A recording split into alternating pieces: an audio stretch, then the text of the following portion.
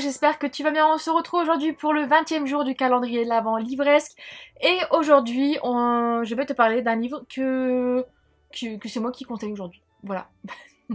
j'avais dit que j'avais glissé des petits trucs quand même euh, euh, de, moi dans ce, dans ce calendrier et je voulais en fait te parler de certaines sagas ou euh, certains mangas ou BD ou séries ou autres qui en fait euh, bah, je n'ai pas vu souvent ou d'autres que j'en ai envie d'en parler même si j'en ai déjà parlé dans certaines de vidéos qui sont disponibles sur la chaîne. Mais je me suis dit voilà je vais en placer quelques-unes parce qu'en fait euh, j'y pense beaucoup en ce moment et c'est l'occasion rêvée. Du coup aujourd'hui je vais te parler de la, fin, de la saga du livre Le château de Hurle de Diana Wynne euh, Jones. En fait, c'est une trilogie.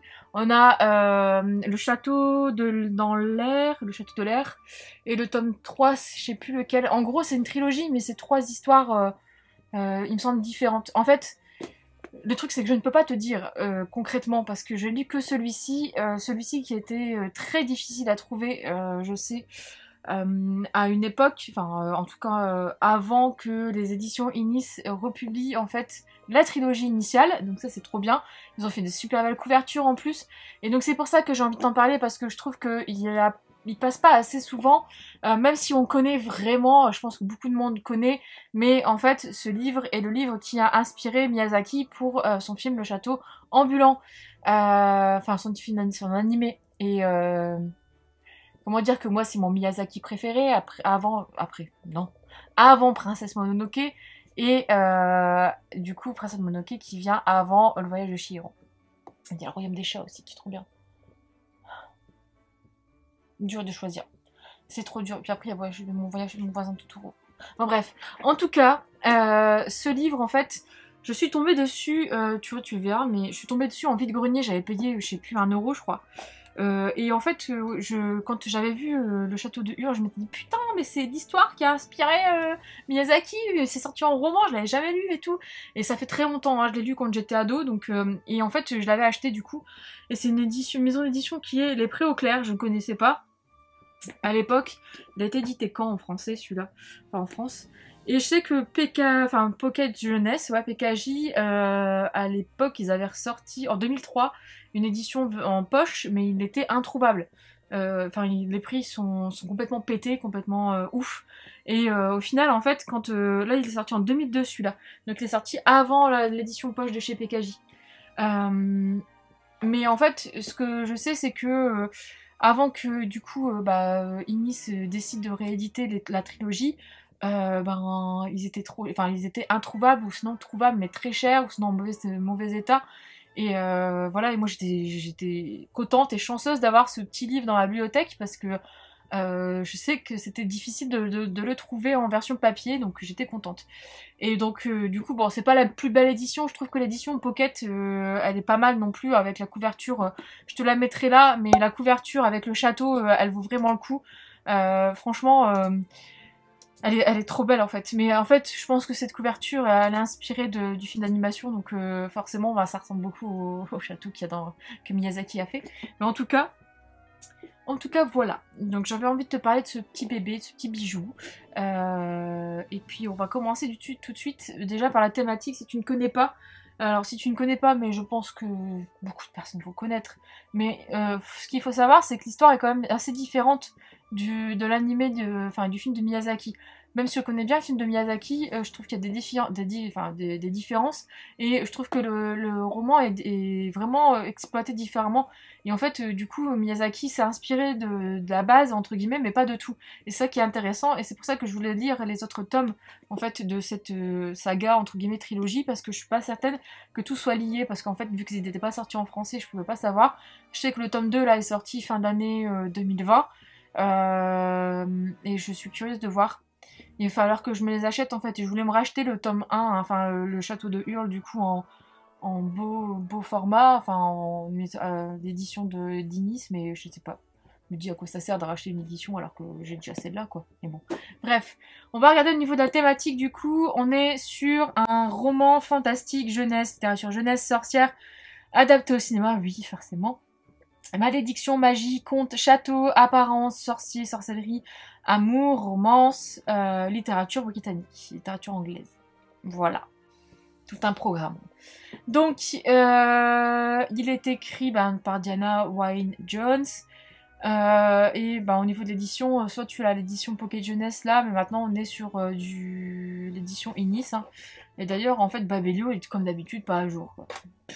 Bref, on va passer outre. Euh, niveau résumé, du coup, Sophie vit dans le royaume d'Ingari, un univers où la magie fait, partie du quotidien. Donc déjà, tu vois la différence. C'est que tu sais dans quel royaume vit Sophie, etc. Alors que dans l'animé, tu le sais pas forcément. Tu sais qu'ils sont en guerre, etc. Mais voilà. À la mort de son père, la jeune fille reprend la boutique familiale et se voit déjà condamnée à mener une existence insipide. Lorsque l'étrange château du magicien Hurle apparaît dans le paysage, changeant de place chaque nuit. Je trouve que cette phrase est trop bizarre. D'accord, je viens de bugger, mais parce que tu vois, elle qui se voit déjà condamnée à une distance insipide, normalement, devrait. Voilà, virgule. Lorsque l'étrange château du magicien Hula apparaît dans le paysage, changeant de place chaque nuit, c'est pas du tout. Euh, Et là, c'est pareil, c'est le même résumé qu'il y a derrière ce livre-là, mais je trouve que la phrase est bizarre. Bon, bref. Maudite par une sorcière et transformée en vieille femme, Sophie pénètre dans le château où elle découvre l'étrange séduction de Hurle, apprivoise un démon du feu et provoque catastrophe sur catastrophe en voulant s'initier à la magie. Mais la sorcière n'en a pas fini avec elle. Voilà. Donc tu vois que déjà globalement on est sur à peu près la même chose. Hein. Voilà, moi j'ai euh, un petit message justement, livre phénomène dans le monde anglo-saxon adapté au cinéma par le japonais Miyazaki sous le titre Le Château du... Non, le château du magicien, non, c'est le château ambulant en français. Mais c'est Aul Castle, euh, la version euh, eh ben, japonaise et anglaise. Du coup, le château de Hurle est un ouvrage à part dans la fantaisie plein d'humour, de suspense et de romance. Voilà Et en fait, on est plus... Là, du coup, t'es plus quand même porté sur euh, le, côté... la cour, etc. Quand, quand tu vois quand Sophie va représenter Pendragon, enfin se, faire passer par la, pour la mère de Pendragon, etc. Et euh, c'est des choses comme ça, t'as plus ce côté-là qui est mis en avant en fait dans le, dans le roman. Et euh, il y a quand même des petites différences. Et franchement, je t'avoue, euh, il faut le lire, même si tu as, tu as aimé l'animé le, et que tu l'as bouffé. Et l'histoire du, du roman est vraiment quand même différente sur certains points et il faut la découvrir. Donc c'est pour ça en fait que je voulais le mettre aujourd'hui dans ce dans ce petit euh, jour de calendrier parce qu'en fait moi depuis euh, un petit moment je voulais me le relire parce que je me suis dit c'est pas possible. Euh, ça fait longtemps que je l'ai lu. en fait si je relisais le livre à la vitesse où je re-regarde l'animé, c'est-à-dire tous les 3-4 mois, Franchement, bah, je connaîtrais le livre par cœur, quoi. Mais sauf qu'en fait, je regarde plus souvent l'animé parce que je le kiffe, c'est mon préféré et j'adore, je le regarde dans toutes les langues. Enfin, c'est tellement. Et à chaque, fois que je regarde le, château ambulant, j'ai, euh, je revois des petits détails. Euh, enfin, il y a des passages qui sont vraiment magnifiques dans l'animé, mais euh, en fait, il faut les compléter avec l'histoire du roman. Moi, je trouve qu'il faut les compléter avec l'histoire du roman. Donc, du coup, je voulais le relire parce que ça date quand même. Ma première lecture date d'il y a très très longtemps, et en plus, j'ai envie de m'acheter du coup le château dans l'air ou château de l'air je sais même plus le titre. Et donc du coup, euh, je voulais euh, le relire pour ça. Donc peut-être que l'année prochaine, je me le mettrai dans mes objectifs de lecture. Mais en tout cas, je voulais te le présenter parce que je sais que beaucoup de personnes ne savent pas qu'il y a le roman qui a inspiré du coup Miyazaki qui existe. Alors qu'au final, il est là, il existe. Donc euh, je voulais vraiment le, conseiller. Et donc du coup, si tu l'as lu, bah, n'hésite pas à en parler en commentaire, hein, comme d'habitude. Alors, au niveau des citations, parce que je vais t'en lire quand même quelques-unes, hein, ça peut être pas mal. Alors, là on a attrape une étoile filante, fait qu'une mandragore enfante. Donc là c'est vraiment un sort. Dis-moi où sont, les empassés que du diable a, fendu le pied, m'enseigne à ouïr les sirènes, parer les brûlures de la haine, m'apprend qu'elle vent, pousse un cœur honnête en avant. Je n'ai jamais compris pourquoi les gens accordent tant d'importance au naturel. Alors, Michael et Sophie se penchèrent nerveusement sur la crinière de Hurle. Ah oui, parce que du coup, il s'appelle Hurle, hein, le magicien. Enfin, en... la version française et la version japonaise, c'est Aoru. Donc, euh, Aoru. Et, enfin, ah oui, c'est Hurle, mais enfin, c'est, voilà, la version japonaise, quoi. Mais là, il s'appelle Hurle, vraiment. Elle, alors, c'est le passage, ouais. Elle semblait aussi blonde que d'habitude, de la pointe aux racines. La seule différence, peut-être, était un très léger reflet roux. Sophie le trouva tout, tout à fait plaisant. Il lui rappelait un peu la teinte naturelle de sa propre chevelure en temps normal. Je trouve que c'est très joli, dit-elle. Joli, rugit Hurle, c'est de c'est votre faute, vous l'avez fait exprès. Vous ne pouvez pas rester tranquille, il fallait que vous me gâchiez la vie. À moi, à moi aussi. Regardez mes cheveux. Ils sont poils de carotte. Je vais devenir une, je vais devoir me cacher jusqu'à ce qu'ils aient entièrement repoussé. Il ouvrit les bras d'un geste théâtral. Désespoir, hurla-t-il. Horreur, agonie. C'est le passage où, euh, justement Hurle rentre chez lui et Sophie a fait le ménage la journée dans son dans, sa salle de bain et elle a mélangé tous ses sortilèges. Et il a fait du coup une colo. enfin, il a fait ses cheveux et du coup ses cheveux sont colorés en, en roux. C'était marrant ce passage. Mais en fait, le truc qui est assez euh, rigolo et bien dans le bouquin, c'est que Hurle on le voit différemment, euh, moins mystérieux en fait que euh, le Aoru qu'on a dans l'animé. Et ça, euh, c'est vraiment un point quand même qui est, qui est assez, qui est très bien parce qu'au final, on se fait une image en fait en regardant l'animé d'un Aoru ou d'un Hurle.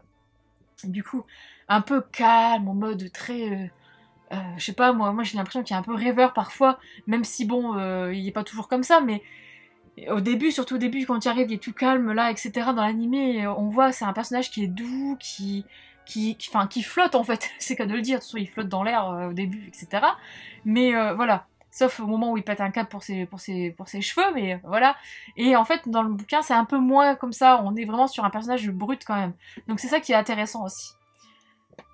Alors, un autre dialogue. Vraiment, s'indigna-t-elle ulcérée Comment pouvez-vous parler ainsi tous les deux d'une chose aussi cruelle? Calcifère, encore, je suppose qu'on ne peut pas lui, le, lui reprocher puisque c'est un démon maléfique, mais toi, Michael, je ne pense pas être maléfique, se récria Calcifère.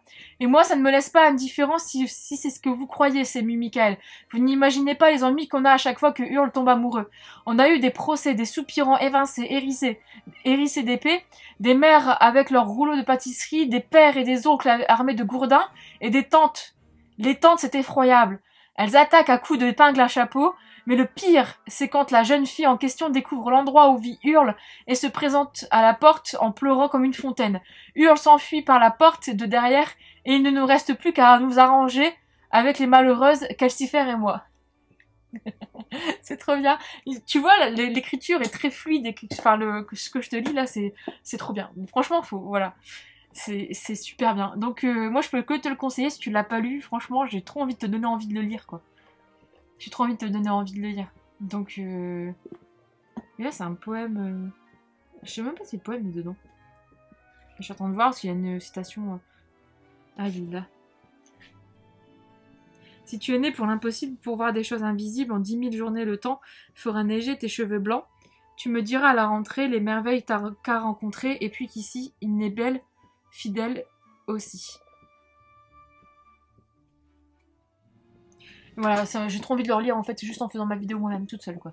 Bref, alors euh, du coup on va passer au livre que, qui, que tu as lu sans doute ou pas et qui euh, du coup peut te donner un ordre d'idée sur, euh, sur, bah, sur, sur le château de Hurle. Donc forcément moi j'en ai lu, bah, je les ai quasiment tous lus sauf un. Voilà. Je les ai tous lus sauf un. Donc on a le tome 1 d'Harry Potter de J.K. Rowling. Hein. Euh, est-ce que j'ai besoin d'en parler? Non. Euh, Bilbo de euh, Tolkien. Est-ce que j'ai besoin d'en parler? Non. Oh, next. on a le tome 1 du coup de À la croisée des mondes de Philippe Pullman. Euh, moi aussi c'est toute mon adolescence, ma jeunesse entre guillemets. on va dire que bah, si ça je les ai lus quand j'étais au, au collège. Ouais, au collège. Ouais, collège. Oh, tellement bien. J'avais, relu là euh, le tome 1 en audio. J'ai regardé la série aussi, euh, une bonne partie de du tome, enfin de, la saison 1 de la série. Et la série est vraiment bien foutue. Le film est pourri, mais la série est bien foutue.